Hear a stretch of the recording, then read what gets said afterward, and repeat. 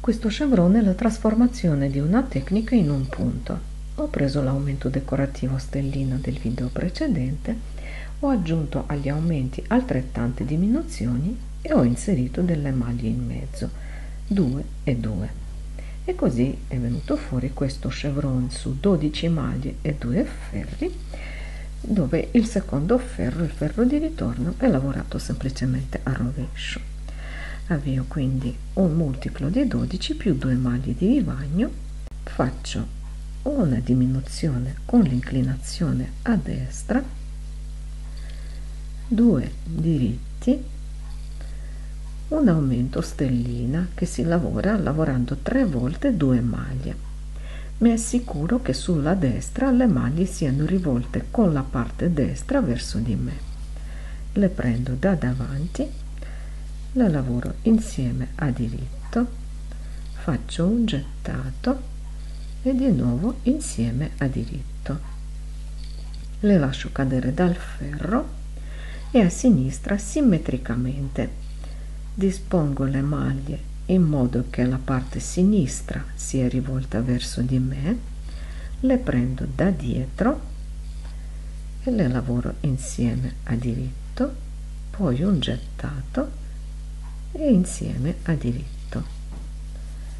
2 diritti e la diminuzione che a sinistra è inclinata verso sinistra. La posso fare per esempio con una cavallata oppure girando le maglie. E da capo una diminuzione con l'inclinazione a destra. 2 diritti 2 insieme a diritto prese da davanti un gettato e di nuovo insieme a diritto. 2 insieme a diritto prese da dietro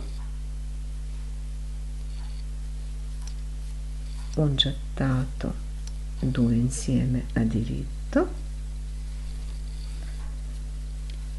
e 2 diritti e una diminuzione con l'inclinazione a sinistra. Fatta la maglia di vivagno, giro il lavoro e torno lavorando tutto a rovescio. Si può fare una cosa analoga anche con le doppie stelline, con i doppi aumenti. Per non appesantire il punto è meglio farlo sviluppare su quattro ferri al primo ferro fatta la maglia di vivagno. Come prima faccio una diminuzione singola lavorando due insieme a diritto con l'inclinazione a destra. Poi un solo diritto poi lavoro tre insieme a diritto. Poi un gettato di nuovo tre insieme a diritto un gettato e 3 insieme a diritto.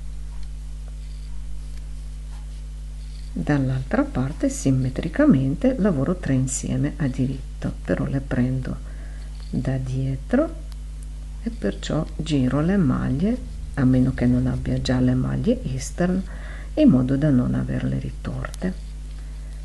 3 insieme a diritto gettato 3 insieme a diritto gettato e 3 insieme a diritto. Un diritto e una diminuzione con l'inclinazione a sinistra. Quindi sulla destra una diminuzione con l'inclinazione a destra un diritto 3 maglie lavorate insieme 5 volte prese da davanti diritto gettato diritto gettato diritto nella seconda parte sulla sinistra 3 insieme prese da dietro diritto gettato, diritto, gettato diritto un diritto una diminuzione con l'inclinazione a sinistra.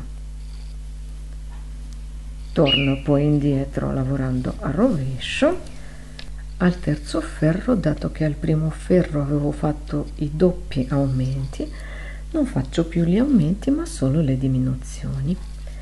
Quindi all'inizio del motivo una diminuzione tutto il resto semplicemente a diritto in questo caso sono 8 maglie e le ultime due maglie faccio una cavallata o eh, due insieme diritto girate verso sinistra. Insomma all'inizio una diminuzione tutto il resto a diritto e alla fine un'altra diminuzione. Così queste due diminuzioni controbilanciano, anche se in un secondo momento, le doppie diminuzioni fatte al primo ferro. Tornate indietro lavorando a rovescio ottengo questo risultato. Chi usa i ferri circolari farà il secondo giro a diritto. I giri dispari non cambiano. Questa era la versione concentrata del punto. Naturalmente possiamo inserire tra la diminuzione e l'aumento quante maglie vogliamo, così il punto sarà più largo, più leggero, forse meno ad effetto, però più facile da lavorare.